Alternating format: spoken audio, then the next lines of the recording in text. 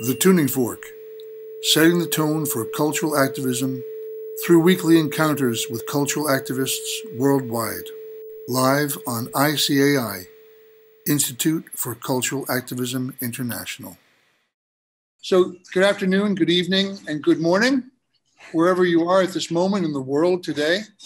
We're broadcasting from the Nomadic Institute for Cultural Activism International at the Indian Road Cafe in Inwood, New York, and we're very excited to be here. The restaurant is like a living artwork created and curated by its proprietor, Tom Bosco here.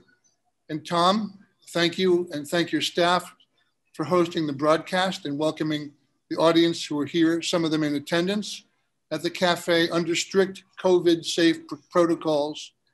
Emily Harris, our hosting producer, and I are maintaining social distance and an open door, allowing for ventilation from other aspects of the restaurant. And Tom is going to say a little welcoming note for us, and we really appreciate being here with you, Tom. Thank you. Sure. My name is Tom Bosco. I'm the owner of the Indian Road Cafe. I want to welcome all, all you people to the to the to the cafe, and I want to thank John and Emily for uh, for asking me to, to help host this here today. Uh, I've been uh, the owner of the cafe for a year and a half. And one of the main reasons why I got into this business, I used to be in advertising, uh, is that um, it checked a lot of boxes, particularly uh, boxes related to community and community service. Right. The cafe itself is an extension of the community, as you guys know that if you live around here, uh, and more important than just an extension of the community, but it, it's an opportunity to extend voices of the community and causes of the community. Uh, it's something that we're very passionate about here from things we put up on our wall to events that we hold in the park. Um, we're cause related, and we think that we have uh, a responsibility to the community as we play an intricate role in it. It's certainly what got me involved here. You're a, so, you're, you're, a socially engaged uh, entrepreneur. I am, yeah, certainly, yeah, definitely. And you mentioned earlier today that you want to perhaps bring some of our common roots from Italy oh, I would love that. Yeah. Culinary culture yeah. in, into the space yeah. here. Yeah, we're actually renaming the, the cafe the uh, the, uh, the Inwood Farm. Inwood Farm. Because this used to be all farmland. Okay. And we like it to be influenced from certain cultures, one of which is uh, an Italian culture. Yeah. Thanks. Thank you, guys. Enjoy the show. Yeah. Okay. All right. Thank you. We'll see you later. Yeah. Bye. Thank you. Thank you. Well, so here we are, and thanks again to Tom and the staff, and um, our, our co-host Emily Harris. Um, uh, and we're here with Chuyia. Chia. Um, thanks, Chuyia. Um, can you hear us well enough? Uh, yeah, at the moment, uh, the audio sometimes a little bit on and off, but um, at the moment it's working good. Okay, we'll um, just do our best with the sound. I think if I speak up, perhaps that'll be more helpful because perhaps sometimes the audio will rise if I don't say anything, and then you hear the background. So I'm going to mute myself from time to time so you guys don't have any interference while, while you're speaking, Chuyia. Mm-hmm. Um, I want to welcome our, our, friends from different parts of the world. And um, thank you, European friends, for joining us at this late hour in your day. Um, tell us a little bit, Chuyia, right now, what is the weather like and what's the daylight situation? Is it very dark? Uh, give us a little bit of local, um, you know, sort of uh, background context where you are. Yeah, um, it's now it's February, so it's moving towards equinox time. It's about 10 hours sunlight. And uh, we had quite a lot of snow this year uh, the, in the whole the, um, February. So um, it just melted away. So we had been like under minus for a very, very cold uh, February so far. And um, it just get a little bit warmer now. Um, little sun and today a little bit fog, beautiful. And uh, you start seeing like a snowdrop coming. And so yeah, something like that. So snow are all melted away here in uh, west side of Sweden.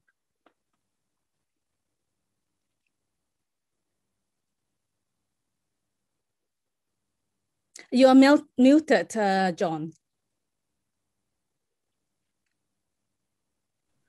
Okay, this is the I think the third time we took our show on the road, and um, first time with background noise. So we have to I have to discipline myself to remember, mindful, mindful.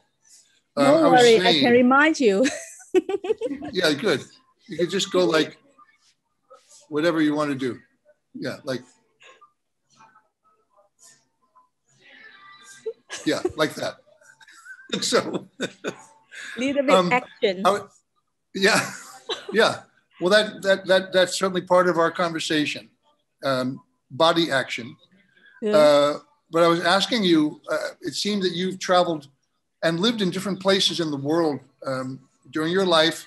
And um, when did you actually sort of land uh, in in Sweden? Uh, at what point in your? Uh, 2009. 2009 when um, I met you, Joachim 2008. And by that time I was here. Joachim, is, is on, here. On, yes, my husband. Husband, and uh, he has blue background, and she has a kind of green background. like that's that's the, the flag of your family, I guess. Blue and green. yeah. So, um, so we, we I was uh, in Singapore um, for and I met Joachim in a performance uh, art tour in China. So 2009, I decided to move to Sweden to, and that's how I landed here in Sweden. Yes. Um, oh, Babette is here from Amsterdam. She's saying hello. Can you see Babette? And um, Joachim and uh, Jonas and Chuya are very much um, pillars in the cultural community um, in Sweden and in China and in the international sort of um, space of uh, contemporary art and I dare say cultural activism. So it's it's very exciting to have uh, close friends and colleagues here. Chuyia, um, I know that you began your work, uh, I think, as training as a painter. Is that is that true? Yeah, very very early like you know you started as a painter it's almost like everyone started as a painter in the old time and you get yourself involved and explore and continuing so i was started as like a painter but i was my interest was so huge so wide. And i was like doing photography and ceramics and chinese calligraphy and chinese ink. You, you name it like everything.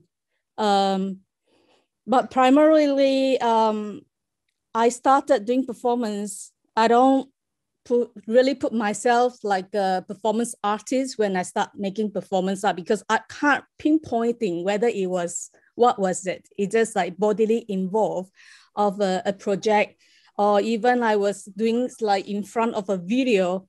Um, I I was working on like mirrors and I built like a mirror sculpture and and and interact with the mirror sculpture and and film and trying to you know body bodily uh, engage with the uh, sculpture or uh, and that was i would say like uh, early 2000 and where i start encountering uh, with performance art.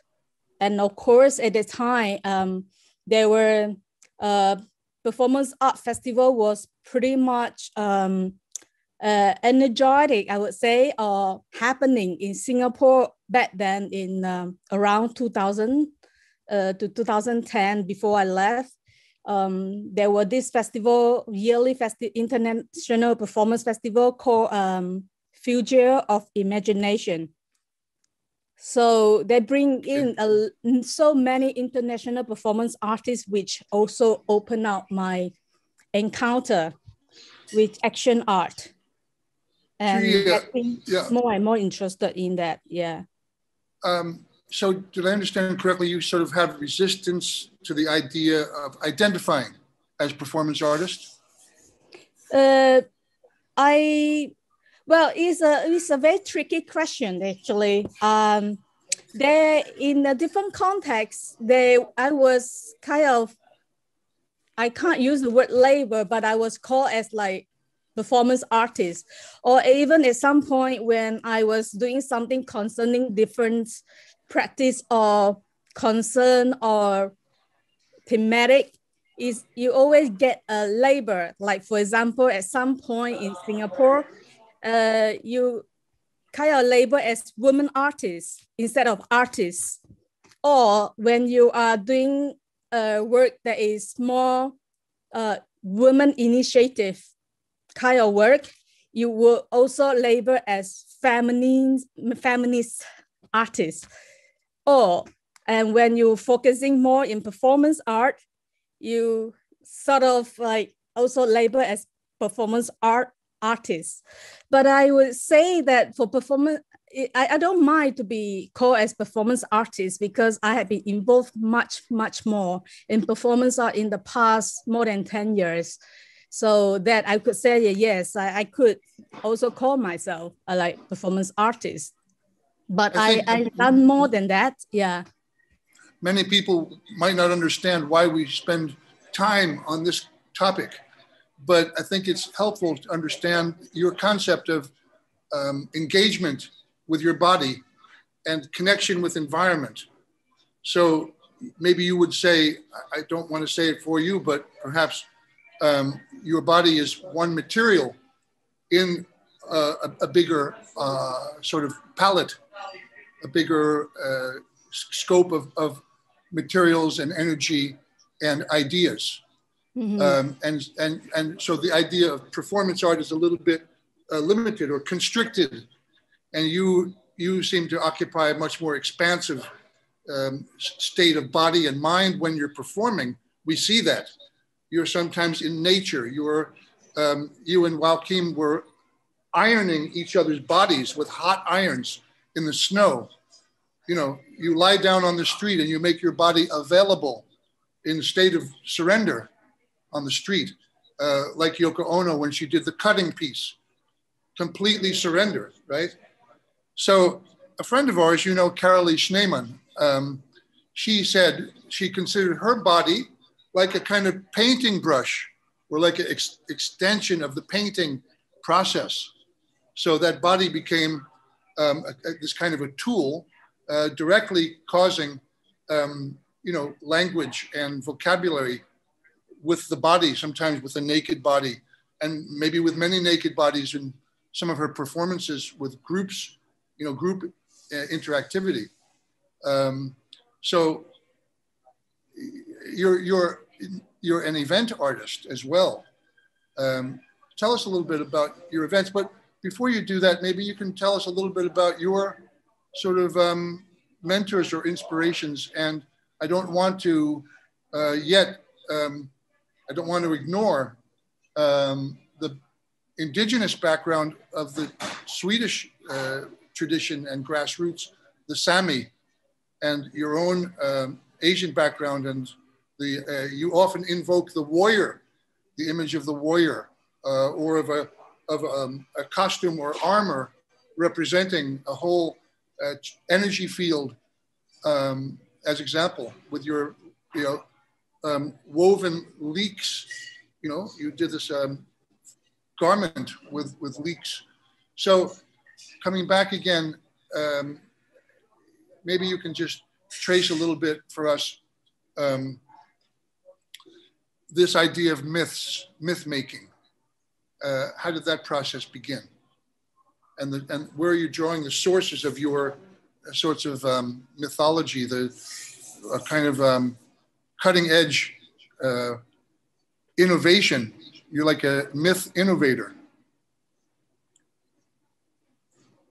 um, the for for the the whole series of, for example, Leek Warrior that you mentioned, um, I I would cut off the Sami part because I I'm kind of like new arrival in Sweden, so the Sami part is not really in my knowledge or I I do get, come across to or visited the land and been there and understand a little bit, but it's not really my field to talk about.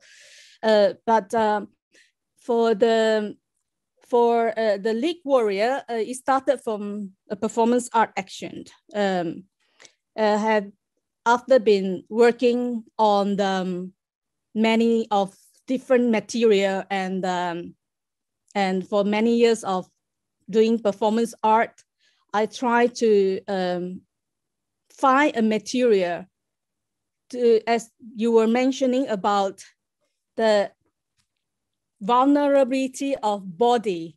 So I do for the first moment when I was thinking and that this piece was started like when we had this pilot uh, festival, performance art festival in uh, Venice, 2015. Uh, we have this pilot. Biennale? Was it was it Bien- Bien- Biennale yeah, or during separate? the during the Biennale, we have we started 2011. Jonas and you Joachim and I, we have been running this uh, pilot festival in Venice, um, and we all going on the street and do live action. Um, it, the first edition was involving more than 50, 60 artists. So you see action all over the street, everywhere. Now, while, happening. while Kim has made a comment about Pirate Festival during the preview, so that was like a kind of um, like in Edinburgh, you know, you have the uh, the alternative kind of festival happening at the same time. Is that the idea, guys? Is that correct? yeah. So Did um, you, did you did you did you hijack the Venice Biennale? Is that the idea? well, I don't think. Well, depending on how you look at it, um, if you're talking about exterior, yes. If you talk about interior, yes, everyone is running around trying to get into different pavilions and get into like the the the press review and different events. So you see people busy running around, but then they cannot miss you outside. So the outside is become a performance platform itself and it's so happening and so vivid as, I my memory recall. Um, So that, that, and that's very been- in- energizing for you, inv- invigorating. yeah, it was. And then I tried to challenge myself to create new work all the time within the three days program, um, every day together with um, all the artists. And the, the festival had been running for like five edition, about 10 years. And then we start looking at like um, finding its meaning of continue doing. Um, so last edition, we took a break to have an overview and really go around to see the Biennale in a proper way and meeting people and having some communication. But this is a little bit sidetracked on the back context of how the Leek Warrior came, which is one of the editions, uh, 2015. I started knitting the warrior. Uh, when you are among all the people who running around, I was thinking of how to put myself, my body in this uh, public space and, and to focus and put this, the body in the, um, how to say, it, like expose your vulnerability by put in, in the public space um, that I want to do something that is simple uh, with just one image, with simple and interesting material.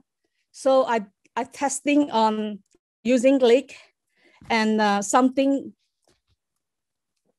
I, I was at the meantime trying to explore about time, duration, material, because mm, I've been participated in many performance art festival and realized many material that we're using is not really sustainable. So I, for many years experience, I start looking at how I'm making performance by uh, choosing or by experimenting using more organic material. So I decided to use time, labor, uh, and trying to knit, um, preparing a leek for it is a very common food to find around in European country as, and in Sweden, and it's pretty cheap. So I find the meaning of wow, it's a very well known uh, vegetables and is uh, common and is uh, is no Right. social Leaks, the, the leaks. leak. Yeah. Yeah. It's a big deal. Leek leek soup and leek in the in the in the in the quiche and all these kinds of um, exactly opportunities to to Yeah. connect with the leek. Exactly. It's Yeah, health yeah. property Yeah. and uh, it's um, availability and it's like it's a, a veg it's a vegetable or a food that is uh, no boundary between classes as well.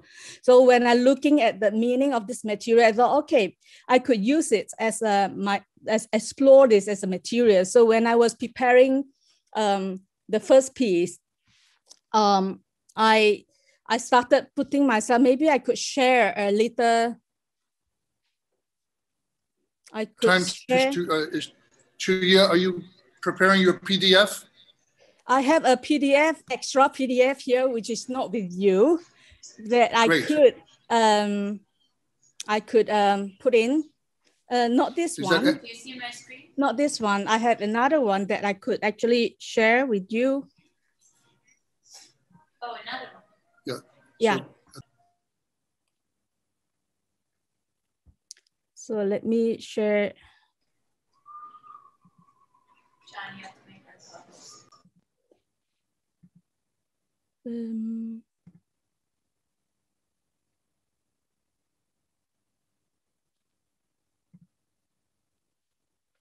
can you see?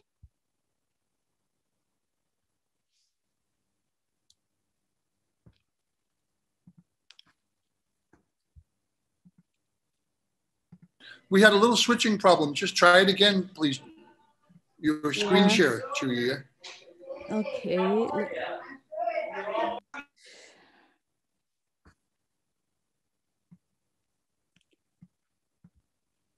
Yeah, I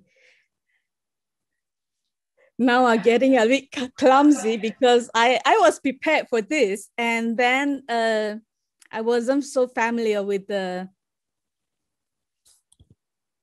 I wasn't so familiar with this um, Zoom as well. So let's see if I can still do that. Um, Did you click share screen at the bottom? yeah, I did. Put down there.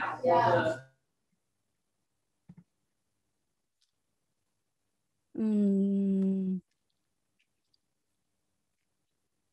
Yes. No, okay. I anyway, I think um I yeah, probably I just leave it. I was prepared this uh, uh so, so that I can show the the image. Is Maybe it's in your preview application or something like that. ah now it's coming. Okay. Can you see this? Yes, perfect, perfect. We see um, we, we see several screens. Okay, so I think you have Can to. you? Yeah, there. That's brilliant. Yes. Okay. Thanks, Gia. Thank you for your patience and uh, concentration. Here's Okay. a friend of ours, Su- Su- Suzanne, is just coming into the picture here. Okay. Here we are.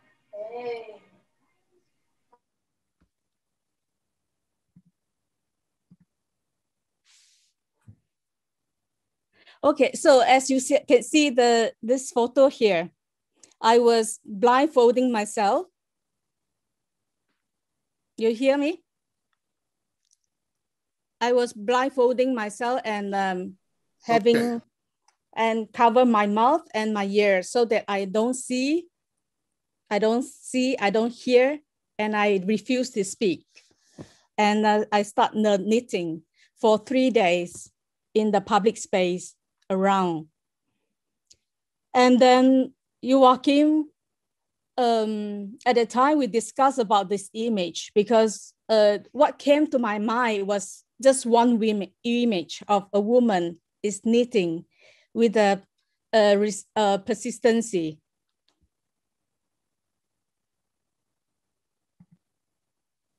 You are knitting together leeks Yeah, and making it making it into some kind of structure. We don't know what the structure is yet. When people Yeah. encounter you, when they encounter you on the street in Venice, are they aware of what the sort of product will become? At that point, it was just a performance action. It wasn't intention to need a dress at all. It was just out, totally out of the idea of this whole Leek Warrior series. So it was started with just an, an act of with the resistance, with the body in the space with one image, a woman with image in the public space, knitting without able, able to see or hear or speak. So that was an image that I was trying to create a, a, a strong image um, because when when um, action took place, sometimes there are many sequences, there are many acts to put to compose together, convey a message. And uh, I was test, trying to experiment and trying to find a way that how can performance art can use just one image and um, and and people when they see the image and, and the passers-by who are so busy running around and see you the image imprint in the head so that is we i call it like a bodily memory so Chuyia, did you move around to different locations in Venice, Italy. I want people to understand, people who are not familiar with the context, that the Venice Biennale is a huge festival that occurs every two years, and that Chuyia and her husband Joachim and brother-in-law Jonas uh, created a kind of um, um, alternative event, a festival. And Chuyia, are you are you moving around in Venice during during this process? So people see you in different places, like Chuyia yeah. is everywhere. Yeah, yeah. Like the first day, I was by the uh, Arsenale, where the then one of the locate outside Arsenale, um, near the ferry, and then I was also um, next day I was moving to more in the smaller alley because the alley around in uh, in Venice, they were so beautiful. And you see the local who live there with the daily uh, life going on. And that, of, of course, you can see the one of the photo in the corner here that their laundry are hanging out on the alley. And that is super interesting to see all this. And um, so, we also have created a very holistic uh, moment like four, five o'clock in the morning, going went to uh, St. Marco Square because St. Marco Square is always flooded with tourists. That is impossible to be there. So we a group, whole group of artists, we walked there. Some took ferry there, and some walked there in the very early morning, like four, five o'clock. And then we do action together for each other to create that kind of connection. And with the serene, with the, it was so quiet and so beautiful that that memory was just, just so serene and so real. And then we make it like um, uh, a ritual uh, or um, um, uh-huh. every years we, we do that, you know, when we come. Okay whether or not we had the festival, when we, we had the chance to come to Venice, we do that morning ritual. Um, Chuyia, I just want to point out that um, I'm wearing a sweater that my mother knitted. And um, my mother is here. Uh, her name is Maria. Hi, Mom. How you doing? Okay, she's muted. Well, nice to meet you, Maria. Mom, it's difficult to mute you, Mom. I don't know how that happened. You're muted, Mom. Let me ask you to unmute.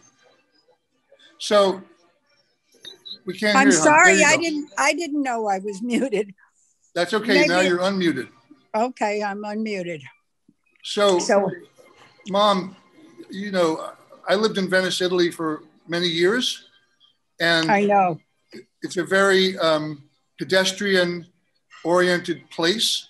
There are no cars except yeah. on the Lido, on the Lido. Mm-hmm. And the women are always, you see women washing their clothes and hanging the clothes outdoors between yeah. the houses and o- over the canals. And some people call that the international flags of Venice. Uh-huh. Um, so, Chuyia, um, And but mom, thanks for rescuing the sweater. Sorry about the moth. The moths got to eat the sweater a little while. It's kind of, you know, the forces of nature. So thanks for Mother Nature. You com- you composed it again. Well, that's the last time. I'm never going to do that again. I heard I heard that. It's a warning. Anyway, um, I'm so happy to introduce you to our friends, Mom, and uh, lucky for them if they get to meet you, and well, vice what a nice thing! What a nice thing for you to say. Yeah. Thank you, darling. Thanks. Okay, uh, and Sally Harris is here, Emily's mom. So, Chuyia, perhaps you can talk with us a little bit about um, the the women's sort of role, the women's body, and the women embodying um, energy like a like a goddess or a myth, uh, mythical warrior or a mythical figure. What is the energy like for you when you go out into the public and you inhabit these roles uh, like ritual? You uh, occupy our attention, kind of like a, a moving meditation, and then we are in that space with you. What is that experience like for you as performer? What is the tactile? You, you seem like a very tactile person, a very hands-on person. What is that feeling like to interact with the immersive performance in public? Can you talk? And your husband is laughing his ass off, but tell us a little bit about your experience, please. Well, I I, I can't really put it in the perspective like I, I didn't really uh well uh how to put it? Um I probably are very sensitive and and avoiding to kind of using woman's body as um material. When I come to uh, I I mean it's like I cannot avoid that my body is a woman body when I come to an action.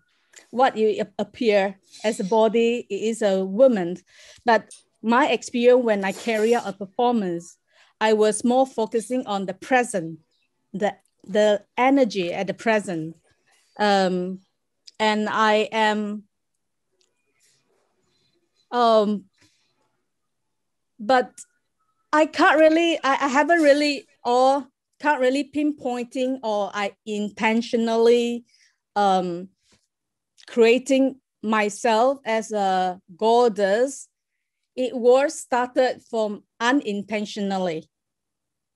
And then when I see that it could be um, related, cu- culture related influences or a belief or um, that I was later explore into and, and trying to create the warrior. So, um, yeah, uh, I ha haven't really like putting it into a context, but uh, for, for me, a warrior um, is something that you're fighting with and we have been always fighting for different things in our life. Um, so, and when it comes to food and environment, I grew up in the uh, a village and um, planting rice and my grandparents catching fishes and and I tend to have that kind of um, um, awareness of um, getting something from the land that how the land is feeding us and surviving. So, so in, interdependency, yeah. Yeah, sort of. And, you rely uh, on land, and and you also have to maintain the land. You have to communicate with the land. You have to dialogue. Yeah, and and as a folk culture from a village, in that sense, you believing in goddess, local goddess. You believe in China. In China. Uh, well, yeah, you, you, can say that inherited from China because my grandparents uh, migrated from China, um, South China, uh, basically. So I'm kind of like a third generation in Malaysia. But in fact, my father even also born in China, and he moved to Malaysia after World War II, uh, after the Japanese uh, occupation. So, so we the whole family uh, surviving by the sea, by the land, by uh, feeding the whole family for education and everything. So that give uh, so the the sort of like the not fear but the respect to the environment is so important that your father go to the sea and catch fishes. You never know is he come back safe. Your your grandfather is also putting the effort to plant something on the uh, land that you are helping in the land and um, planting rice and if you don't eat them with respect. You know all kind of it's, it's like, I, I would say that it probably like a um, imprinted culture memory. Um, so so ritual ritual in your art begins with the goddess in your childhood, huh? Yeah, I I I I didn't notice until in a later time when I really looking back to the childhood where there are so many different ritual festival like worship goddess, um, also of focus uh, events happening in the village that I never know that they have the meaning of the ritual is becoming so important. But then in the later part of my life, when I randomly going many things and come to create my own ritual, I found that ritual is really um, is a very important part where you keep life in the um, um, in order in the in the very um, real and uh, prepared and um, I just lost the word. Um, yeah. Yeah, but it's a it's almost a, a wordless place too, a place without yeah. words, isn't it? Yeah, yeah. so, do you do you think that the ritual, from your experience, um, is a kind of doorway or a threshold into the universe, a a meeting place with the Creator? Yeah, is that like an idea? Kind yeah, place, I would say yeah, place? it's a threshold where I start like open up and able to see things. But and but then when i was moved to singapore i don't see all this actually coming uh, because i was exploring to something else. I trying to um, to understanding the whole contemporary art scenes and and trying to get into the the the art world and understanding the practice. So it doesn't really come to me until when i moved to sweden where um, cultivating, planting, everyone was very much into um, um, seeding, you know, because of the fall season, it's really nice to um, follow the season. Um, whenever, whether you have a small balcony or you have a piece of land outside the countryside or you have just a small piece of land, everyone is cultivating, uh, growing something big or small. And of course, living in that sort of environment is bring back my childhood skill because I was helping cleaning fishes, you know, do all the households. Uh, that's why when you were asking me the question of when I'm making my action in the public space, it's a long story back of the bodily body memory where you had been so used to all these chores and households and making in and they will very naturally come in place when I carry out an action or when I'm working on something. Yeah. Um, and gee, uh, yeah. you, you, you, forgive me if, if I interrupt you uh, too frequently, but this is such a rich content conversation um, it's it's just a pity that we only have 60 minutes to chat before we have engagement with everybody. So I hope that other people will please um, be mindful of their own questions and responses and interact with Chuyia.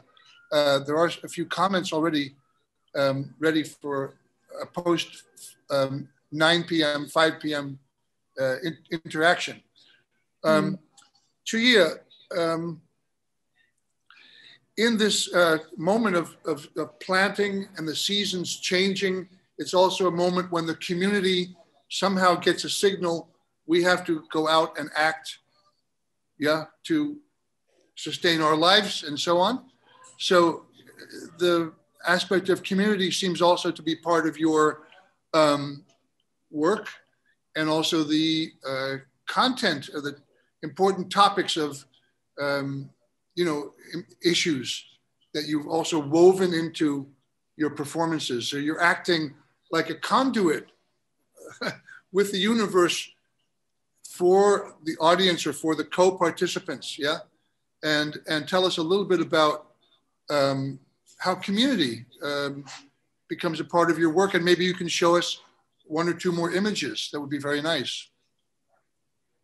Uh, you mean like in the another PDF or the performance art piece or, or the PDF that I, that we have? Whatever is at your fingertips. That's easy, yeah. Um, but uh, again, while you're looking for some image, you could be thinking a little bit about, um, you know, this idea of community and, and integrating um, content, survival, um, all these issues that your work addresses, and and the, also the awareness of being in the present moment.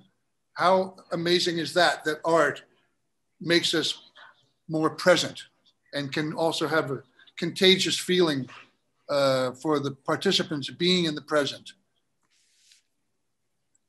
Mm.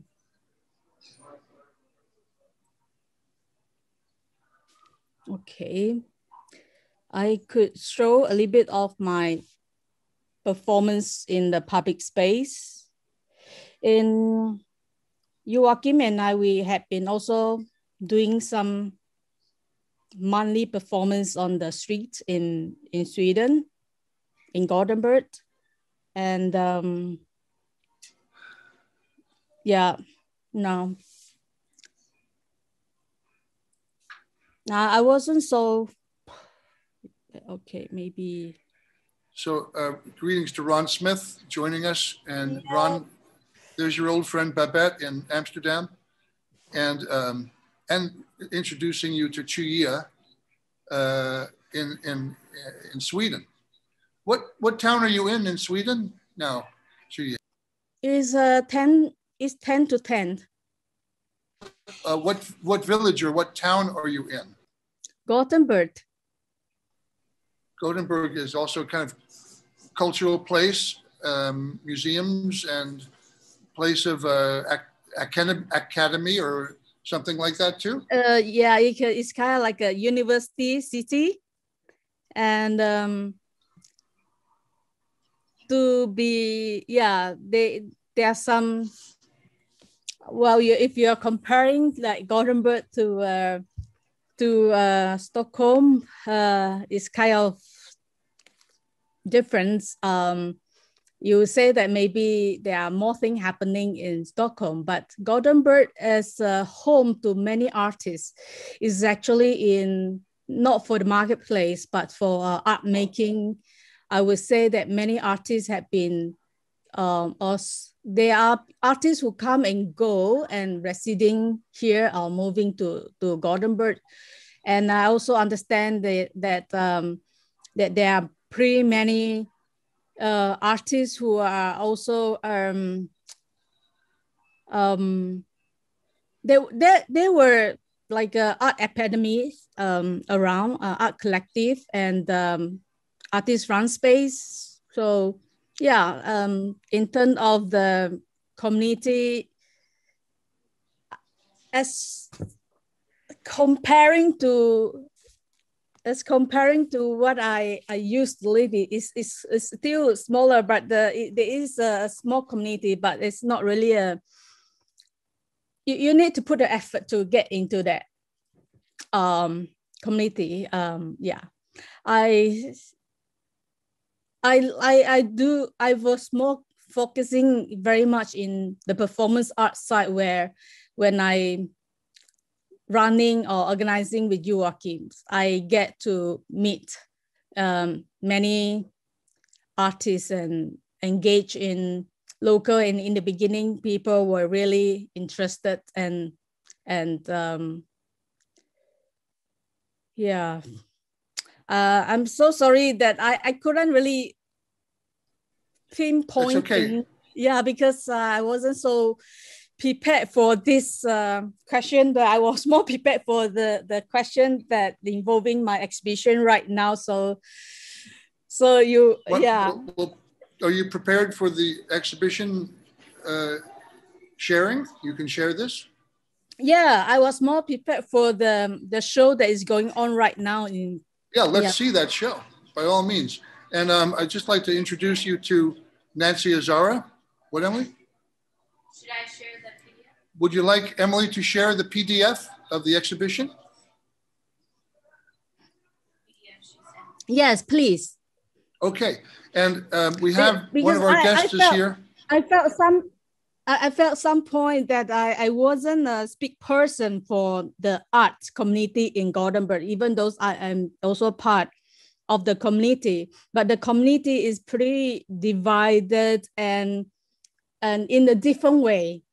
So I wasn't I, I don't think that I would able to speak about that uh, so much. But of course, in general, we do have the art hall, we have the art museum, and Gothenburg is the second city um, of uh, of Sweden and in the west coast, and um, convenient of traveling down to Malmö and and um, and I also trying to uh, doing outside Gothenburg like Trollhättan, another smaller city, and Högdö, where I was uh, having my show there right now, where Yeah. Uh, more involving in um or in the region region um region. Yeah. You know, uh, while Kim is saying, yes, it's a, a working class place, a hardworking place. The Volvo industry is there. And Mm, so um, maybe it's not so easy as a, you know, a contemporary artist to, um, and also, did you feel kind of like foreigner or outsider? yeah, I do feel like a foreigner or outsider when it comes to the comment about the vibes of the city because Yeah, I came from not- Singapore with a very Here- high metropolitan uh, art art scenes, and then you Yeah. come to a, a place where it had its own history of the um, culture, and um, like like when I have sometime when I have topic and talk discuss with Joachim, he he lived here his whole life. His parents lived here his whole life, so he had a totally different input and uh, uh, and discussion about the whole art world in, in Sweden. But for me, I spent over a 10 years time here in, in Sweden and or in Gothenburg. For me, it's not deep enough for me to discuss or talk about that the, the city. I, I want to introduce you for a moment um, to our friend Nancy Azara, whose name here says Zoom user. It's very um, anonymous, but this, this anonymous user of Zoom uh, was the founder of a very important feminist institution in the 60s and 70s in New York City, and uh, a real activator and a shapeshifter uh, and an organizer, you know, of, of uh, the feminine feminist community, uh, which we talked about on the show last week. So I'm happy uh, that Nancy is here, and now in actually amazing, properly properly uh, labeled, and Elka is also there. You see Elka, and she and Nancy were uh, part of this original work, uh, social work, also with Louise Bourgeois. Um, so it's a very interesting reunion and introduction to you, and you are not an outsider here. Maybe I should say, outsiders, welcome. if you're not an outsider, we don't want you. Insiders tend to have a sense of, um, you know, responsibility to be something, you know. So be irresponsible as an outsider. We need it. so can um, maybe Emily would like to share. Uh, and I, I'm also quite aware, you know, that in the Italian culture and in, in Venice, there was the tradition of commedia dell'arte.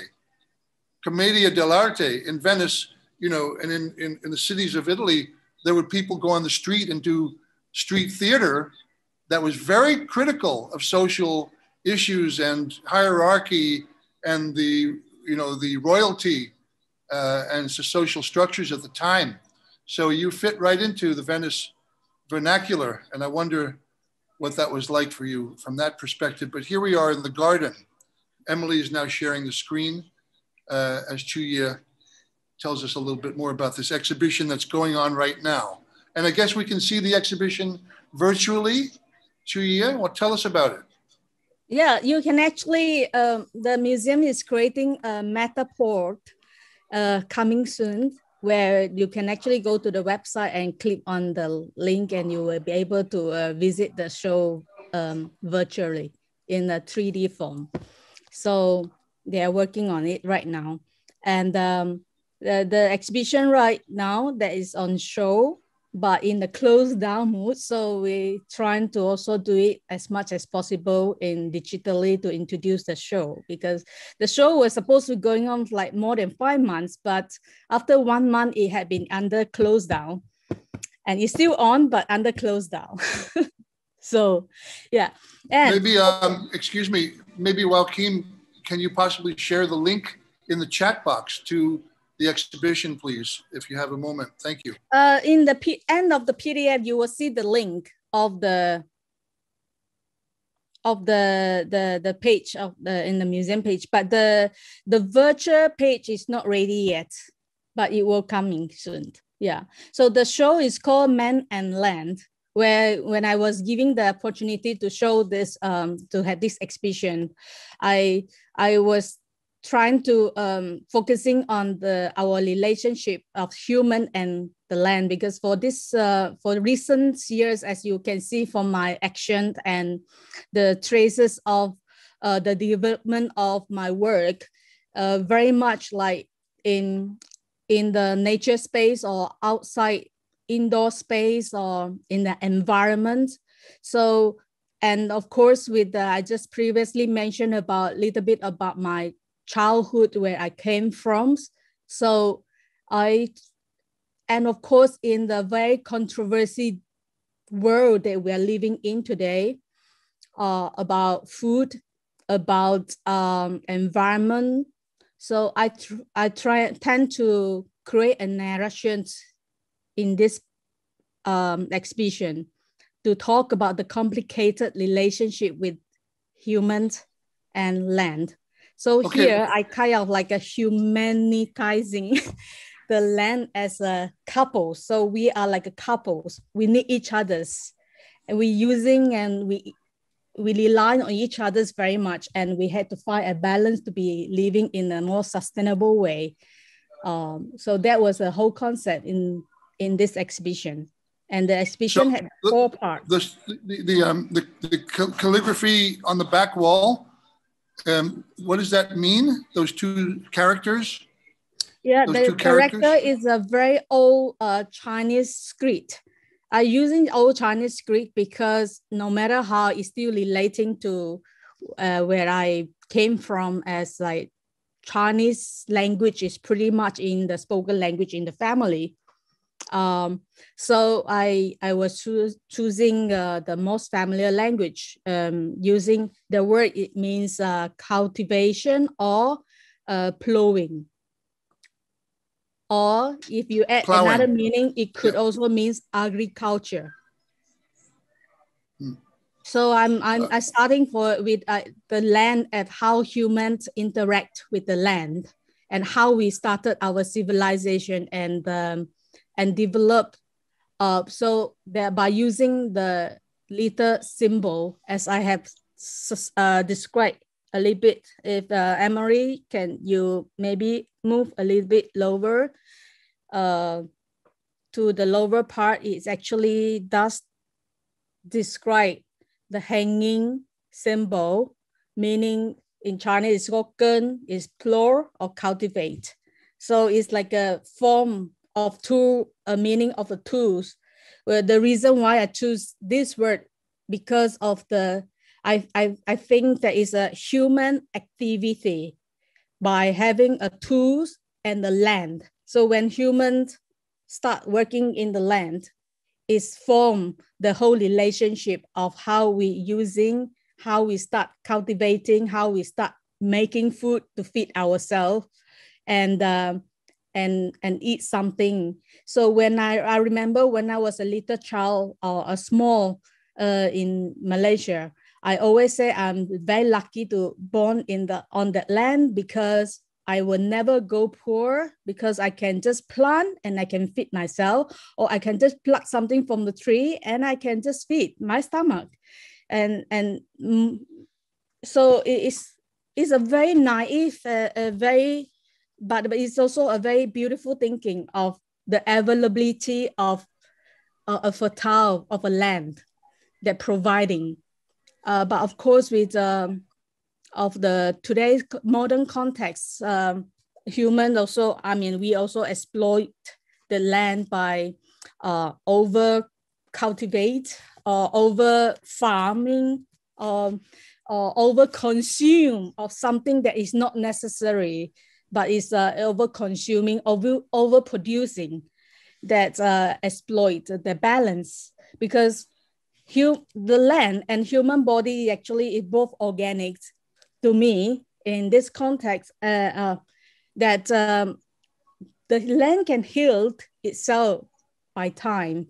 And same thing with body also need time and it heal itself or generating itself through a process so in, in this so uh, as you see from this picture uh, there's a, like a myth or a garden where audience can walk in into from here, you walk from here, one way in, one way out, and you come to the center here, able to see the hanging piece here, which is like two meter and three meter in size. And then you came come out here, so you are not bumped into another person if they're coming this way. So it's better that you come this way and get out. And from here, you go up to the second floor, which is a, balcony or a mezzanine. So the, the this symbol here the whole land is a is a borrowed from the idea of the geoglyphs.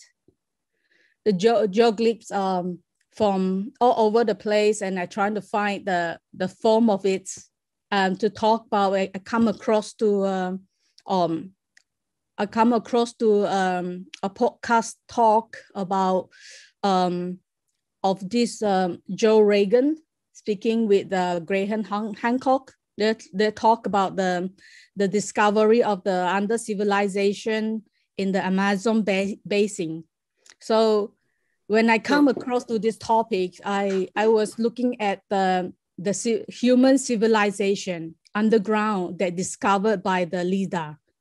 Is a kind of scanning laser um, from the above the sky after the fire that all plant, all forests had been gone and then the land exposed and it, it was able to scan or some part expose uh, the geoglyphs. So I was using this context of to, to, to talk about human history and together with the land that how our relationship started that is so long time before that we even rem remember or discover or realize of course, I, I try to have also have a time frame. So I set the time like between around looking at the time between like 3000 to 3500 years ago, uh, mm. looking at how this uh, civilization. So I, I, I kind of creating the garden based on the idea of the geoglyph where you can see uh, from the above and together so, with the hanging piece and and this grass are actually the crop our stamper crop, which is what uh, kind of what kind of grass? They are wheat grass wheat grass So also smell. Yeah, the smell and uh, the green grass you can actually cut them and subtract and drink the green juice. And um, of course, if they are cultivated in a farm, they will be they can also grow to uh, to wheat, which is we are using to make flour and bread and pasta or noodles or whatever you need. And we know we know that uh, these greens produce air, oxygen to yeah. breathe, to eat with our lungs. Yeah. Right. Did you know about my air projects with plants? No, I would oh like to. Yes. well, Babette, to, uh, Babette came to see me when I was living in a glass house um, with 10,000 plants, breathing once a minute in Holland. And um, I'll tell you more about that project later, okay? Mm-hmm. But so, so important that you uh, initiate people in the urban space, in the conventional, um, you know, dead space of a museum, the very life source, you know, and the uh, responsibility, uh, interacting with nature. Yeah, it's, a, it's, it's more like putting a seed to the visitor to start thinking of their own. I can't, yeah, I, self-initiative is uh, much more important than when you've been told what to do. So to plant the seed and of the awareness is much more important than telling what people, uh, telling people what to do. Um, yeah, so, um, and here come to the Leek Warrior. Uh, when you come, go up by the second floor, uh, up to the mezzanine, where that is where the seven Leek Warriors standing. The seven Leek Warrior, they were using different skills. Some were like waving, some was like you were question, uh, putting the question about the tra tradition uh, handcraft of weaving, knitting, uh, cross stitching, sewing, and I was using different technique and cutting leek, dry them, and soften them by using uh, glycerin so they are available and a little bit more sustainable so that I can wear them because for leek, once they dry out, they, they, are, they just break easily. So it's a very fragile material. So I, I was creating some of the the pattern they were very randomly made but at the same time they also follow a little bit of uh, little references where i was trying to look for like for, for example the terracotta warrior um, or for example uh, some of the like for example this weaving piece um, like the bracelet where the red indian are, are wearing them to protect the chest um, so they were I trying to use a different technique that, and and put them together and see how they look alike. And when I putting on this leek shoot, they kind of transform me into a a goddess or a, a warrior. It's like kind of um, in persona me to be a person which I imagine or thinking I am that warrior that is protecting um, the land. So as you can see that I was using different um, continent, and you can see the crayon and then the Arctic environment, the tropic environment, the sea, underwater. So uh, Emily represent the rainforest, so it's almost like across the seven, not totally, but uh, about around the different continental and different living environments as come like forest, rainforest, sea, cor coral, and uh, beaches and all the sources where you can think of um, that you can think of the clean resources came from. So these are some different view of how they look like in the exhibition space. Okay. Um, can I ask you a rather personal question, Chuyia?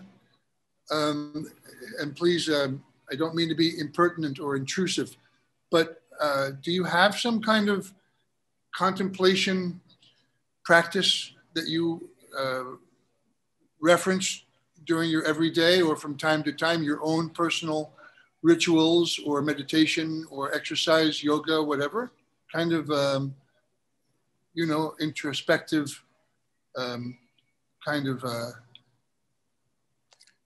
Uh, no, not really. Um, it, well, um, when come to if you coming to the art practice, I I trying to looking at I doing a lot of household, and you can see that is my ritual, and um, but uh, when come to the art practice, um, I I do um oh, okay, let's see. Um I think I, I, I can ask you the same question in a different direction, different angle.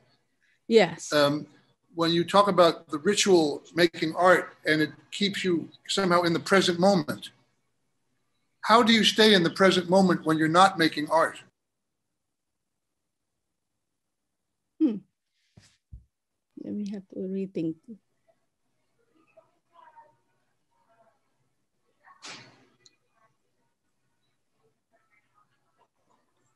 No time limit. Mm.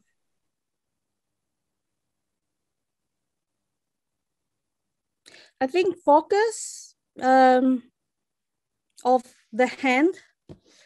Uh,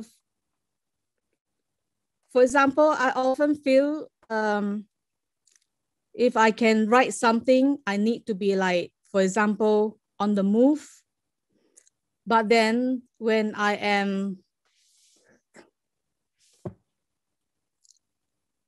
I think there is a goal. For example, um, if I have a, yeah, I'm, uh, it, I'm, I'm a little bit you know uh, too nervous and, uh, yeah, no, not well um, understanding or prepared for. Yes, but um, but your husband, I, I your, your, your husband is making a comment because he he's with you every day lucky lucky people.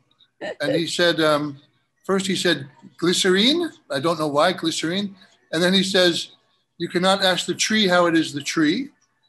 And then he says, almost everything Chuyia does is or becomes ritual. Um, He's right in a way.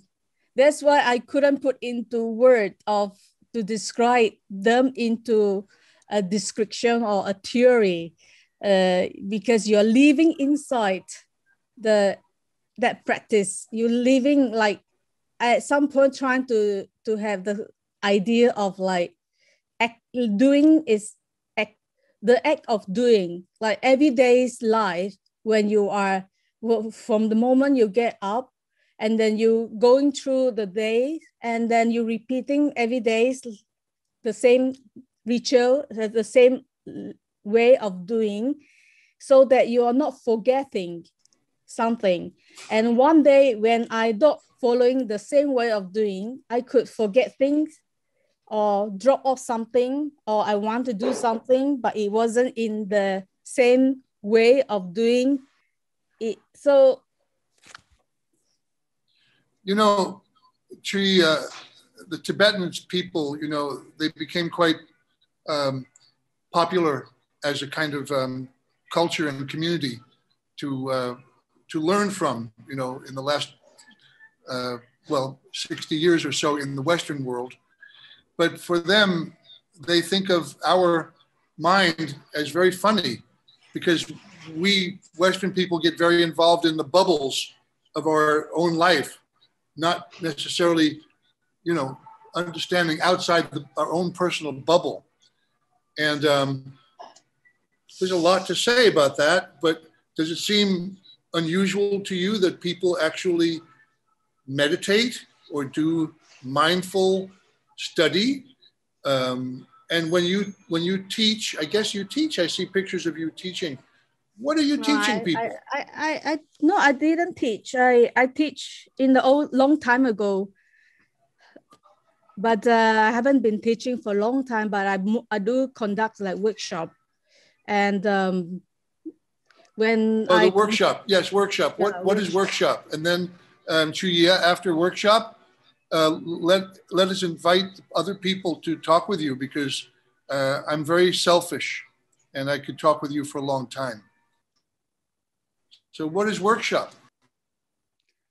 Oh, what is workshop? uh, yeah, it's a it's kind of like a common name for, but uh, we trying to do things together and um, learn of a way of doing. Um, for example, if you are interested in a certain topic, for uh, like, for example, like performance and participate participant probably are interested of how you are doing certain thing or achieve to a certain thing uh, or creating a work or as some activity. So you kind of leading them to achieve or, or, or, or do something together in the workshop.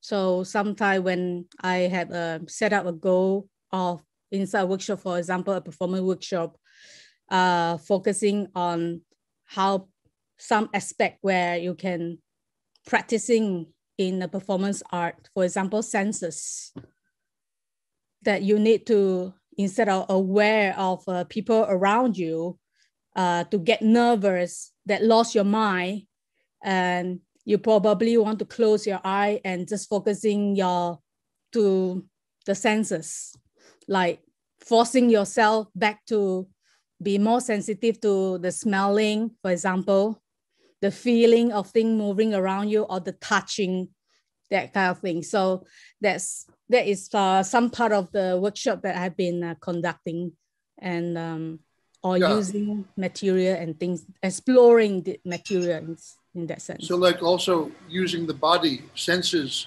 to be in the here and now, yeah. in reality, in reality, yeah. sensitizing, sensitizing mm. ourselves. Yeah. Because the body is always in the here and now, I guess, huh? Yeah, yeah. Body is in the here and now. Yeah. Let's turn over the um, the time now to to other people in the community here, and uh, there are some links there, but we should uh, copy paste those links into the chat box for people.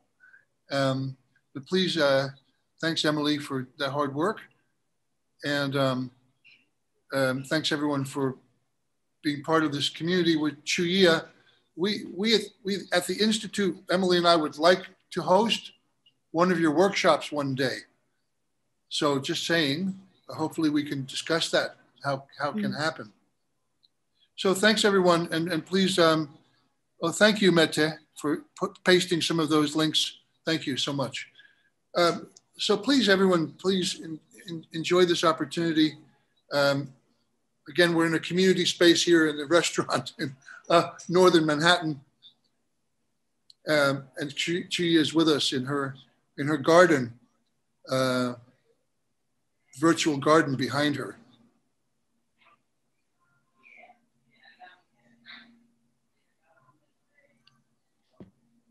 I think people are just blown away, frankly. Oh, Emily, uh, thank, thank, thank you, Emily. So please go ahead. Can you unmute? And, and I will unmute.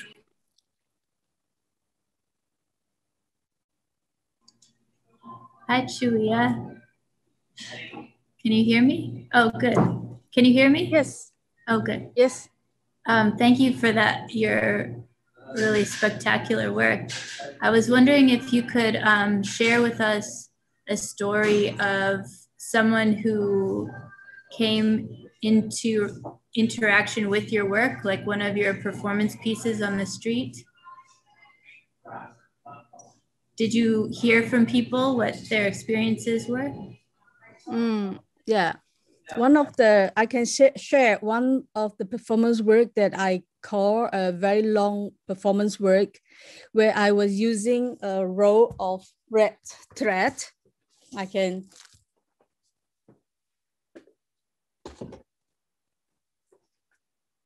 This is a row of thread uh, that I actually found when I was on the performance art trip in Mexico, Norogachi, uh, Guachochi.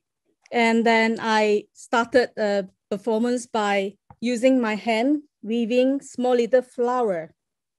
And when I come to Mexico, I don't speak the language, I don't speak, speak Sp Spanish.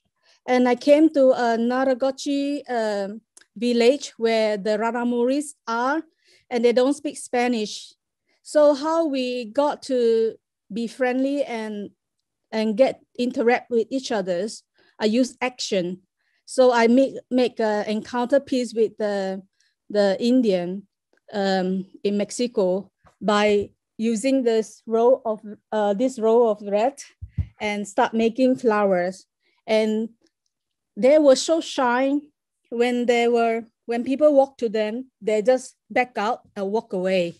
But for so I I was thinking about culture approach uh, of different different approach of like different culture, different tribe, uh, different people. They had a different um, um, they, they are responding differently to different human being and stranger uh, where they're not familiar with. And surprisingly, when I was trading this little flower, they were interested and they were surrounding me instead. So once another foreigner came, or a Spanish spoken person or someone from the city came over, they just moved away immediately. So that was a very beautiful thing for me to think that you don't speak the same language, but you can be just present and being quiet and being friendly to, sh- to share the friendly gesture by making a flower and give it to them. So I'll just make them and then I just give it away, the flower as a gift or as a gesture of friendly gesture as a souvenir that our encounter our meeting. Um, so I had been touched for that encounter. So I started the journey of the thread of red, which you can also find in one of uh, maybe one page in my my website, um, where I actually call it a thread of red between between us, where I've been traveling in to different places or whenever I had a chance to travel in different places, I try to do the same work and I receive different reaction. Uh, for example, when I do this piece of work in the very busy touristic city, people were afraid of me because they think I'm selling something that they can get conned by me. But then at some point when I was in South America, uh, doing this piece work, people were so passionate to share um, their story. In the beginning, I was just giving away as a flower or as a souvenir. At later part, I come in, I encounter a suggestion of uh, references of the book, The Gift, to talk about the balance of human relationship of when you are offering as a gift. You kind of more superior than the receiver so I try to change the meaning or change the approach instead of uh, giving away that little flower as a souvenir or the marking the meeting point between us. Uh, I, I, I asking for a story for exchange. So I slowly to collect story. So when I did the piece in uh, in Chile, um, uh, South America, Santiago, in Santiago, yeah, in South uh, America. And um, people were just can't stop sharing uh, their story to me, even though I don't understand the language. I have a uh, I have a translator who is trying to translate to me, but it's not possible to translate everything. So I was just listening, and they were all very open because they understand that I don't speak Spanish and I don't understand at all, but they don't mind. They were treating me as like um, a listener. So so it, it, it gave me the, the whole idea of doing this is like an experimental process to try to understand that in the different contexts when you do the same word and uh, you you're receiving different reaction because of a different culture uh, uh, um, different culture um, perspective and different culture practice uh, from the whole world. Uh, it could be from city, could be from islands, could be from uh, deserted places, villages. So all mentality are different. Uh, so so it became one of the work that I think is important. Maybe it's not so interested. So for some people, they think that oh, Chuyia is me threading the flower again and and she's doing the same words.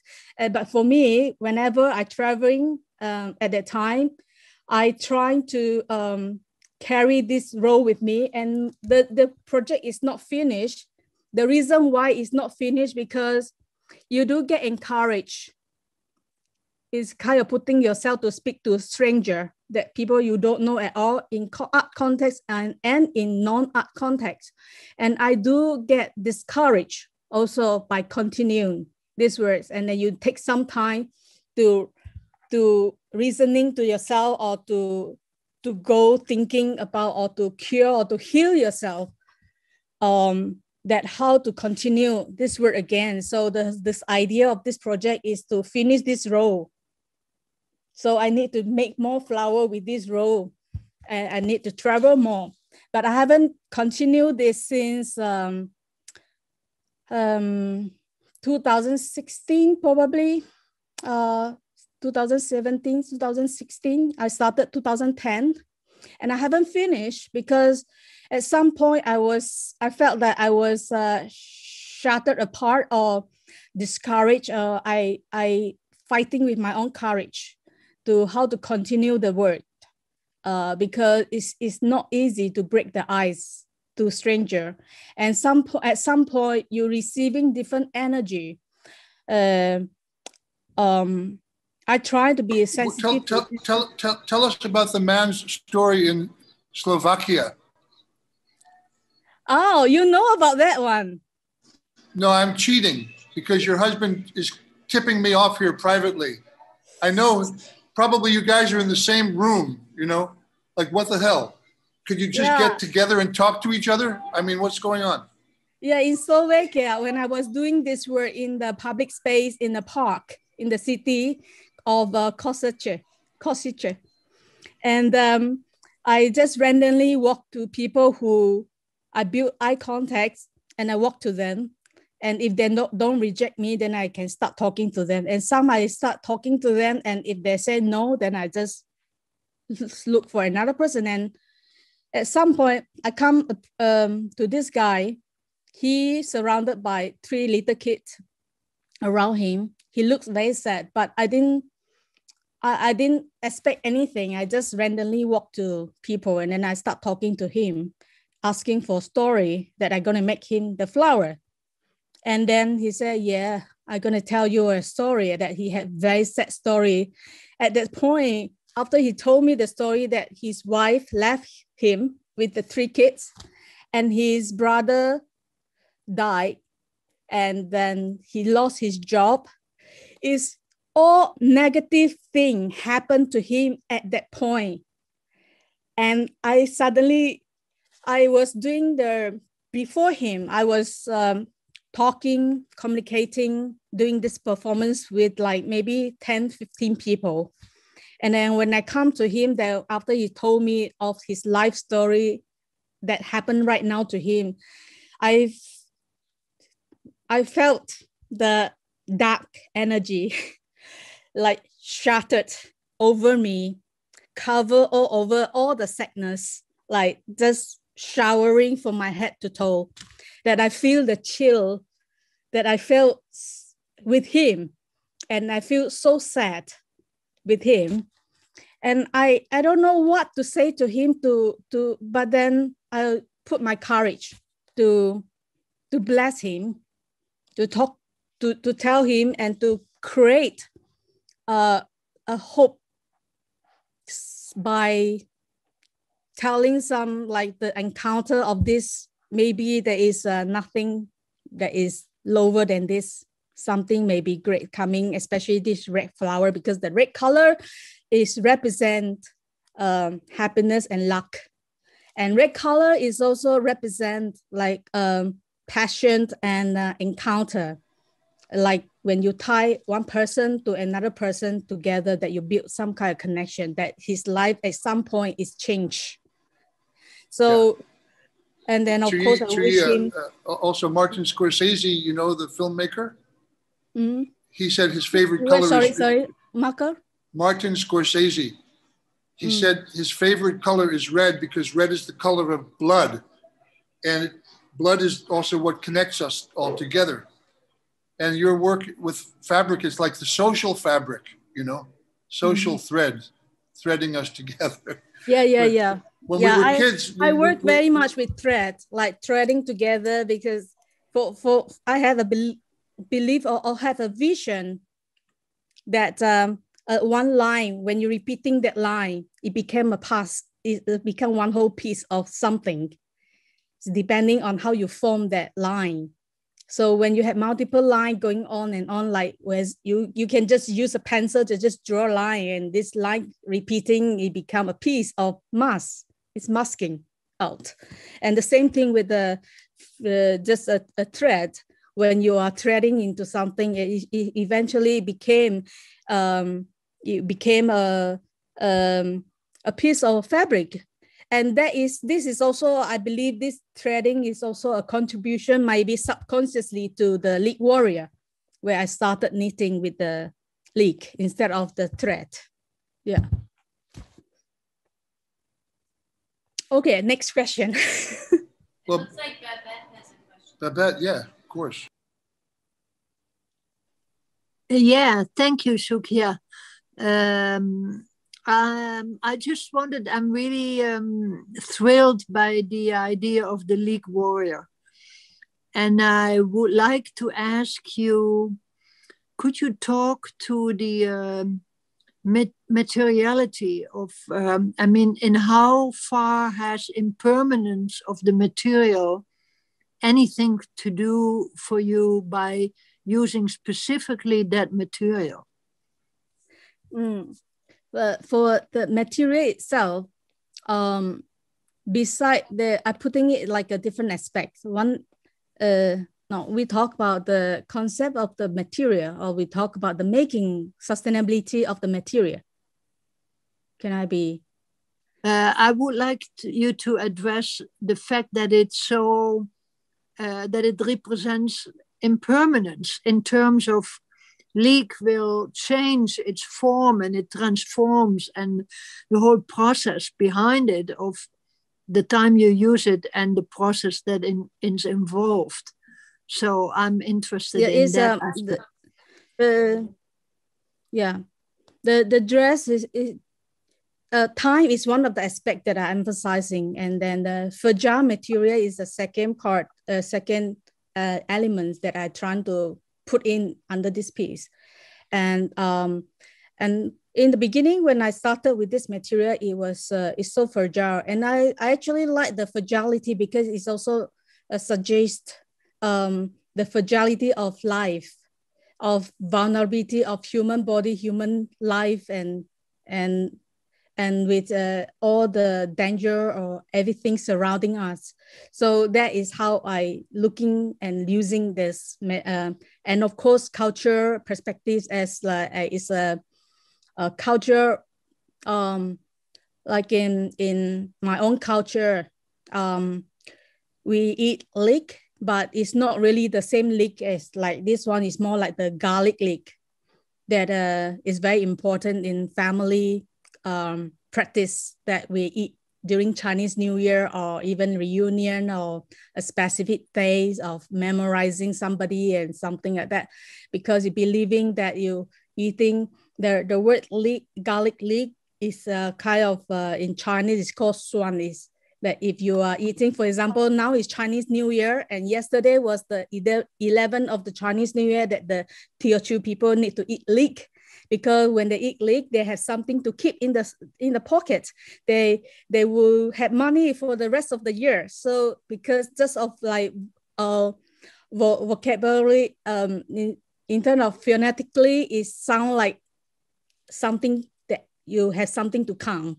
So but then in Europe, when I found this material, um, is uh, is is kind of becoming something more like a all people food and uh, it looks similar, tastes similar to the garlic leek. And, uh, and you, so it's kind of like a culture replacement of food when you are moving or relocating. You always explore like in terms of the food culture, you have to uh, uh, uh, find an alternative or substitute to replace something that you cannot find in, yeah, in something place. like also uh, potato is very food of the very poor people also, yeah. as what Joachim just mentioned. Mm. Yeah, I think potato have a very long different uh, story uh, from uh, different uh, culture and country as well. Um, I met some artists who are focusing on potato. Um, but yeah, back to leek. So during the process, when I found this material and explore, I cut them into slice and I try to work on them. And when I cut them in very thin, they were just like thread. So I'm very good at using thread I'm very careful with thread and very good in thread. So I said, okay, this one line, if I connect them, you know, how they're going to be. So I was working on without thinking about how they're going to be. So I start using it to knit. And, uh, but after a while, they dry out. Uh, when I was doing it in uh, Venice, the humidity in Venice actually make them really smell very badly and strong and uh, they even molded under that high humidity in Venice. And but then when I was bringing back to Sweden, our humidity here is probably like between like 70 to 80s, um, or 65 to 85, something like that. So it's, it's a very nice condition actually. We, we when I prepared more of the leek, and they dry out beautifully, like the olive green when they dry. So I love the nature, the color itself. It gives such a beauty um, to the piece. Uh, so when I start knitting with the that piece, I I thinking of uh, of course I have a lot of talk and discussion with uh, Joachim, my husband, and and I come across the idea of knitting actually a dress. Um, it will be how it looked like and how much time it will take. So finally, I proposed this to Singapore Biennale. And Singapore Biennale loved the idea. So I was needed 180 hours for five weeks inside a glass room every day, six to seven hours. Just sitting there knitting a whole kimono light dress that I eventually put on live um, on me and um, and and that piece wasn't I it was all a all of this project like a process that I have not thought about the conservation of the material. Mm-hmm. I would I just know that they they're going to hang like this and dry as it is. And if they need to keep them, they need to spray a little bit mist of water to soften them a little bit. They can't just fold them as they, when they dry, they will just shatter apart and and broken. And so I have to give instruction that oh, you have to spray them and when you fold them, but then you can't just keep them uh, in uh, rolling them in in a confined space because they will rot. They will mold and rot. So, uh, but eventually um, they find a way to cons- uh, conserve the piece in a special condition. After I came back, I continue experimenting and I was doing some research of how to preserve dry flowers. So I come across uh, using um, um, testing and I was so happy it worked. So I have some old pieces that is already dry. I soaking it into that material and I let them dry and they're soft and they can work mm-hmm. again.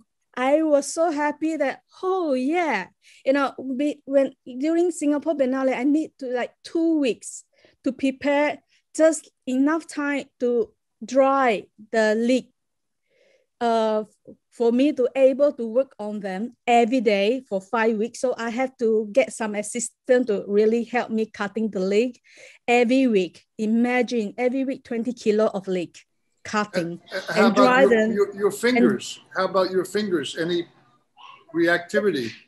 The, the finger is fine actually.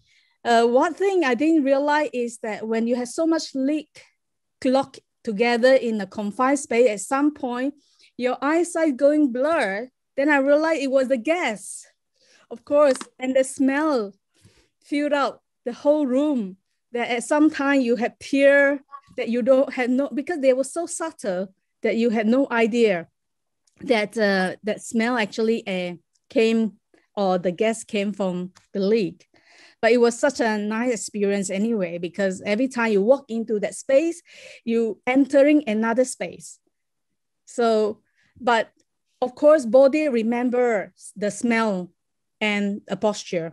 So to knitting, sitting for six, seven hours per day for five weeks, no matter I, every time when I left the space, um, I try to do different activity, yoga, stretching, uh, so that I can re relax the body. The next day I go back to the same space again. I probably will be able to holding and that position and continue.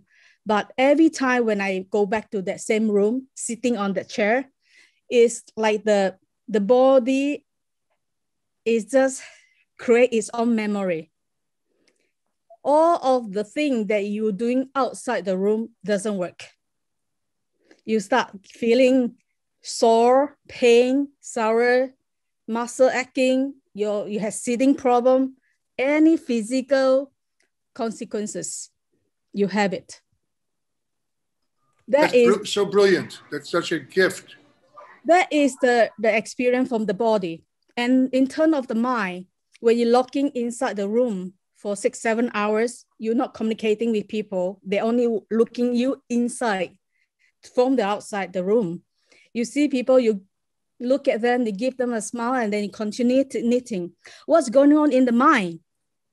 So the whole process of focusing in one action, it became so meditative.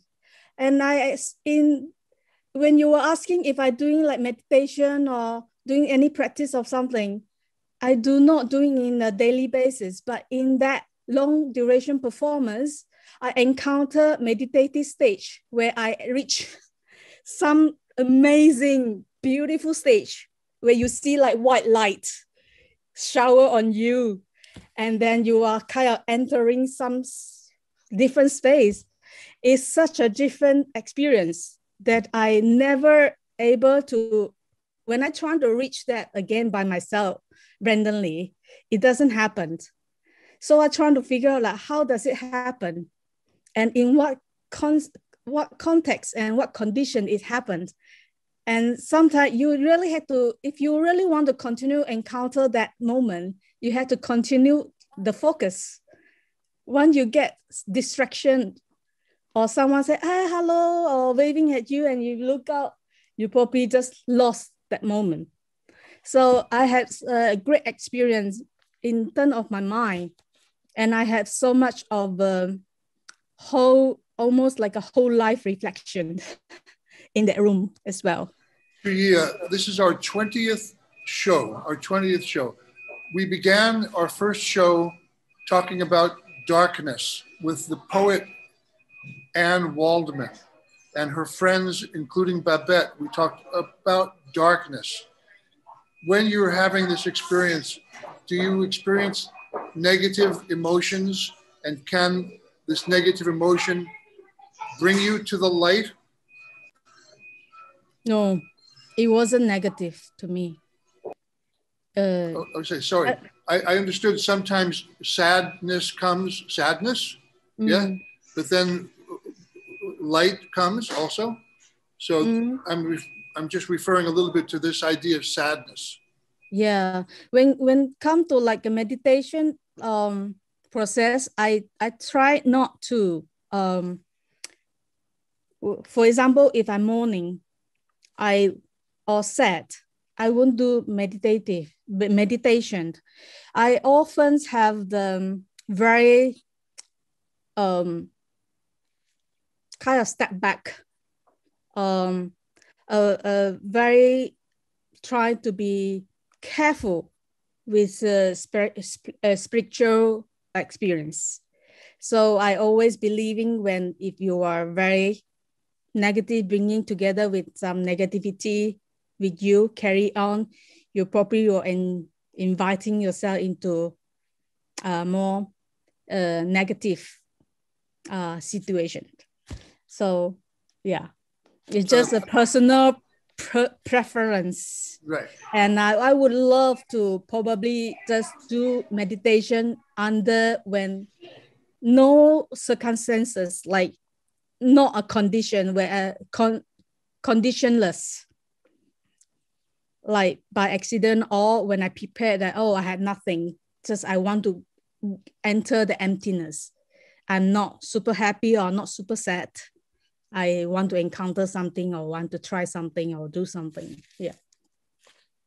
So well Kim wanted to say something earlier but maybe he would like to comment now and yeah i'm happy i think that uh, we can go a little bit longer, but I just want to be respectful of what uh, people are expecting um, in their own, you know, individual time schedule uh, in Minnesota, in Boston, in Amsterdam, in Sweden. So uh, thank you. And Upper Michigan. Okay. Uh, no, but I think it, what I really liked with Chuyia's performance in Singapore Biennale was that she was making after every day of work, these five weeks, she made uh, a five minute recording. Everything that come up in mind. Can you hear me or am I? Yeah. Oh, no, oh. So um, she made recordings that are she put together five minutes, five minutes, five minutes, and it was you know all the emotions that comes up after her work, sitting there knitting, for five long weeks. Maybe you can tell them about that, too, because that was also with sorrow. You were crying, you mm-hmm. were high, you were laughing, and, and, and with your tears. Yeah, for that piece is very specific for me also that I am trying to looking from a pers- performance perspective where we often looking at a action as a body form we are looking our visual focusing of an object or a human on and uh, something that this person is doing, but you never know what is happening in the mind. So I try to record because our mind is going very fast. And so every day I try to whatever I can record or I can remember in the last 15 minutes, 15, 20 minutes, I try to give a narration of what going on um, of the whole six hours every day, nonstop, and eventually edited into like a, um, uh, I think four hours recording. So recording in, into de device, into a device, you recording?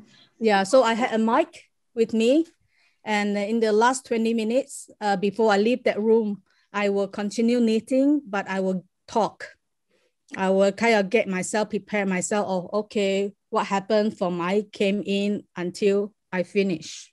So at what, what, was in my mind, what, my emotion.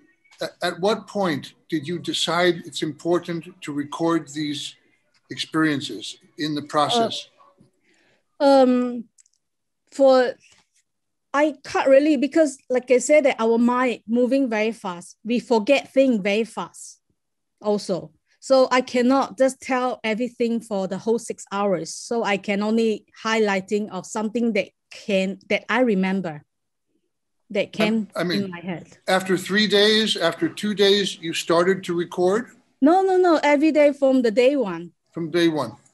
Yeah. So it's a 30 days performance. And these recordings, are these like raw material for other work? They, or they were uh, edited a little bit every day because I need to have the the recording have to be on show after I left the room when the exhibition continue.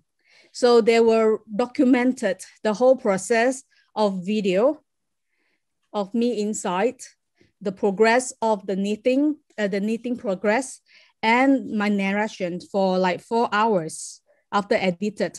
But I didn't edit too much. It's more about sometimes when you are thinking and you have that moment of, uh, um, you know, so just cut it off. Otherwise, most of the the the speech, uh, the narration are inside the recording, and then they were all on the show together.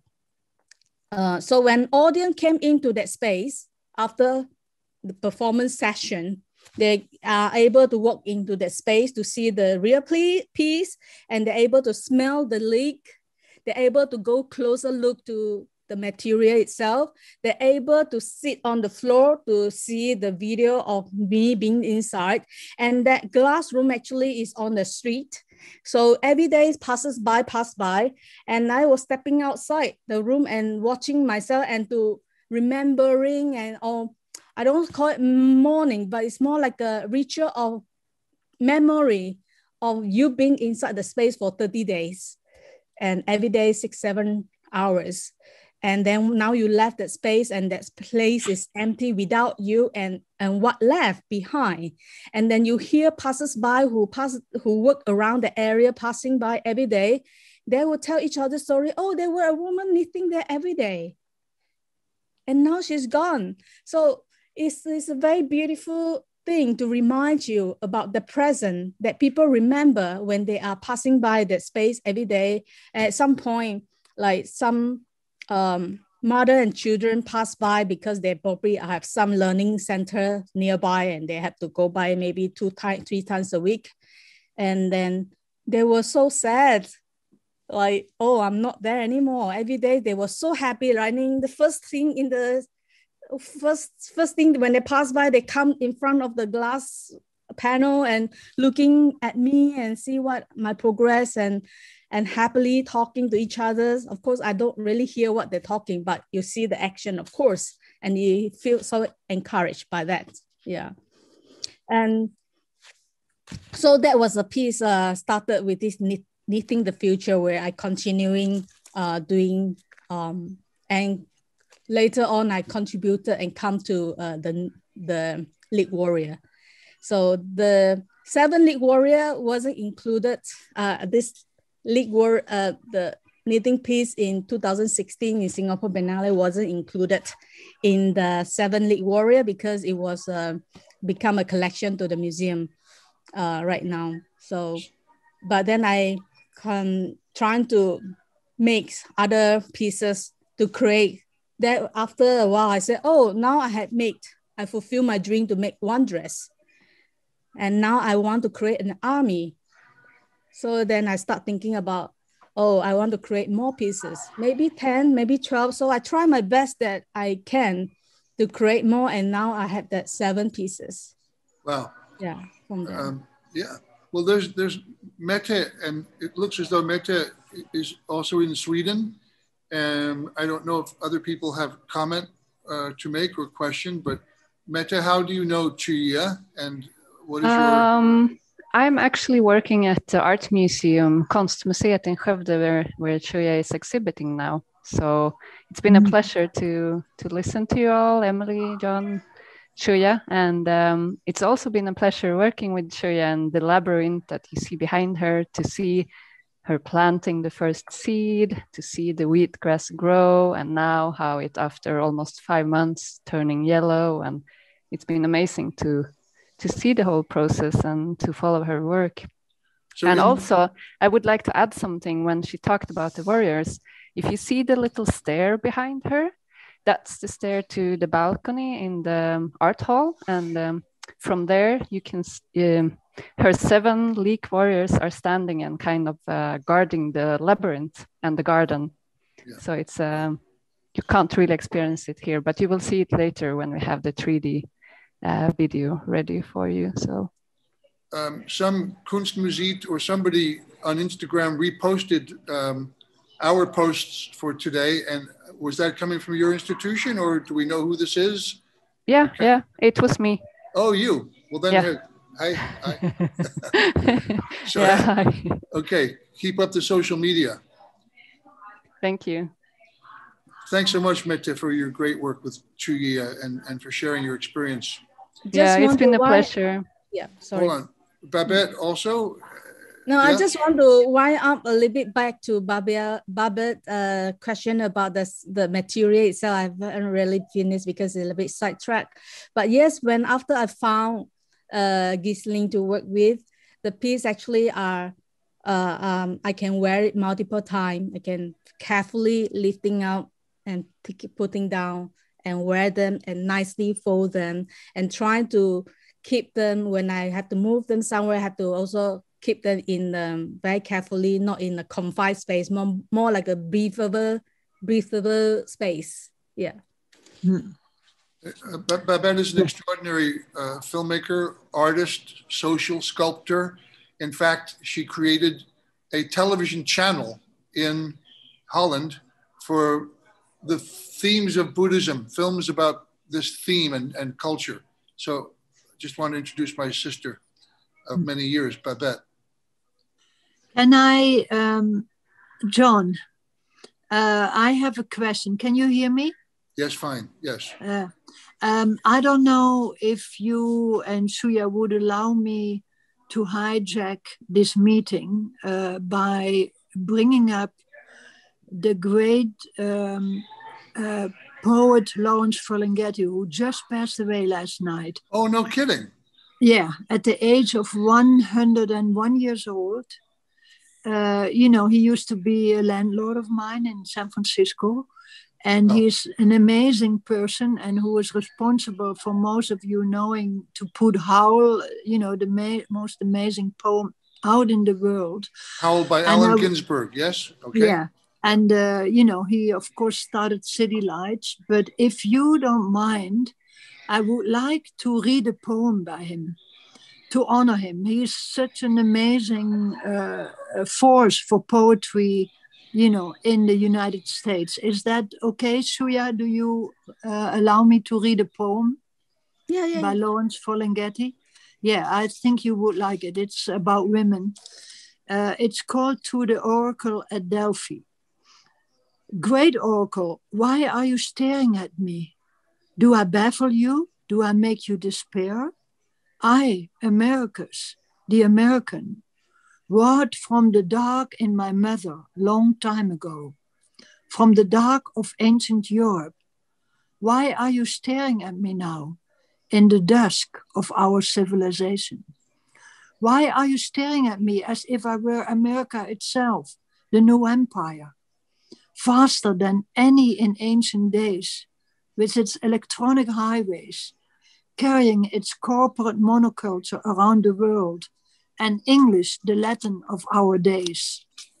Great oracle, sleeping through the centuries, awaken now at last and tell us how to save us from ourselves and how to survive our own rulers. Who would make a plutocracy of our democracy? in the great divide between the rich and the poor, to whom Walt Whitman heard America singing.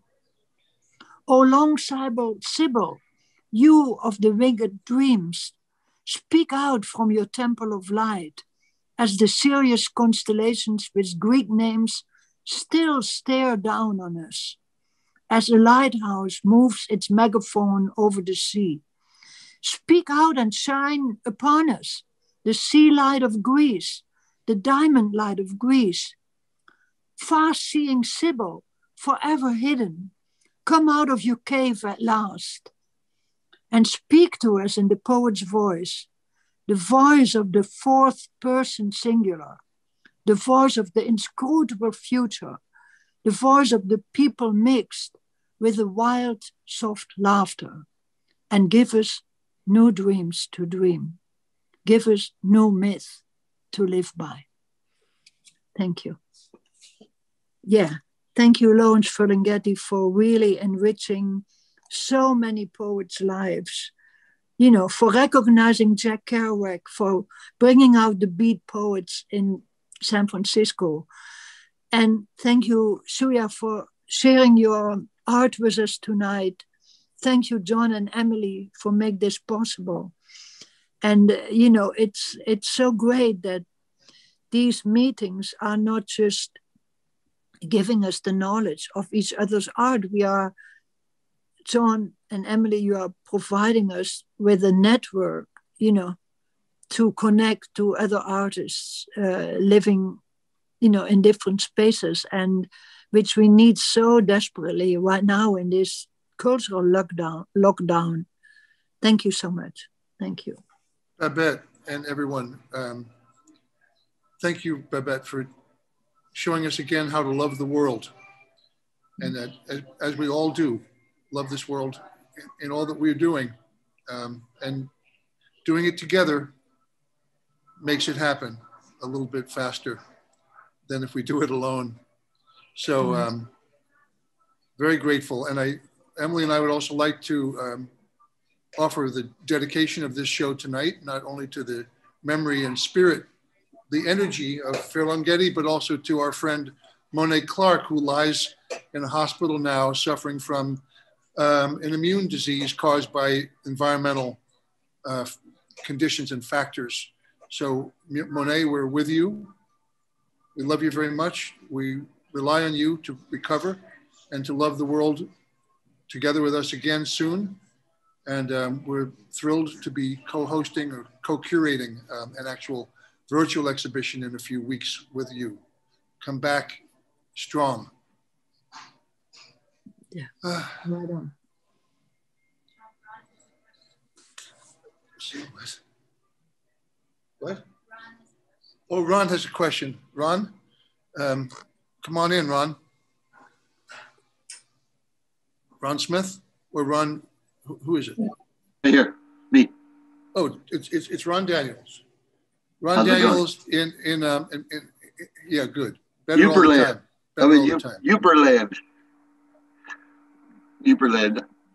Julia, I love your uh, presentation. Thank you very much. I was very struck by your, uh, uh, when you were sitting in the plaza with the uh, X on your mouth and over your eyes, immediately made me think that, you know, we, uh, the marginalized people of the world, you know, we are here, yet they don't allow us to speak. They don't want to see us, you know, yet we are here. But I love your presentation that you put yourself out there with the X across your mouth and the X over your eyes because we are here and they cannot deny us. And by the X, that shows that we are sovereign individuals. You know, that, that we understand our personal sovereignty in this world that we're all in. Yes, we are here. Thank you very much for that. It was a beautiful, uh, it really you. moved me. Thank you. Thank you. Yeah. What were your thoughts when you did that? Can you please? Um, I think many of my performance pieces like a diary to me. And most of the action I, I did during or at time, uh, often some something that I felt of that period of time. So I did feel like powerless. Um, that um, you don't have a spoken word. And, and it feels so uh, minor, so small that um, that a very strong feeling of um, could be like from self-censored yourself because you don't have word, you can you don't have voices or or you you there's um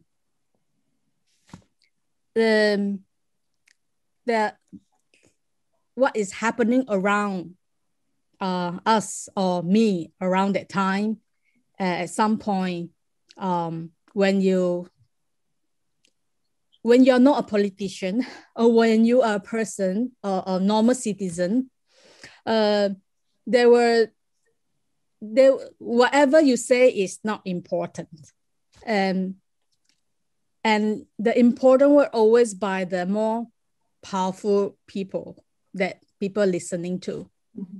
So at some point, you know that something is wrong with um, with the whole hierarchy, the whole system. And uh, at that point, I felt like um, action speak louder than word.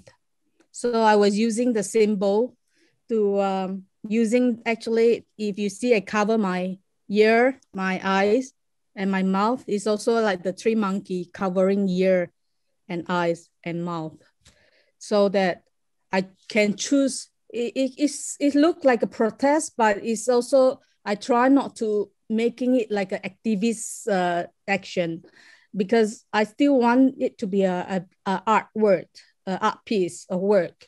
So I try to look at from a more um, visual artistic um, an aesthetic perspective when I using those symbol. So, and and using the sign of the tree monkey, no ev- evil, no see, no hear, no speak, because we are living in a very polarized world right now, or even five years ago, or ten years ago, or even maybe further. When you come across to a different stage of life, you understood that oh something you may not understood until you reach certain point of understanding and you you can know that you you can see a lot of uh, unfair thing happening especially people who have no power. Yeah. So yeah that was uh, the reason why i was uh, covering my ear eyes and mouth. Covering the eyes could be like, okay, see no evil. Either you don't want to be affected, or you are censored yourself, or you are putting yourself in a disguise um, perspective that you don't want to see, so they don't exist, or you don't hear. It could means also in a positive or or negative or mob.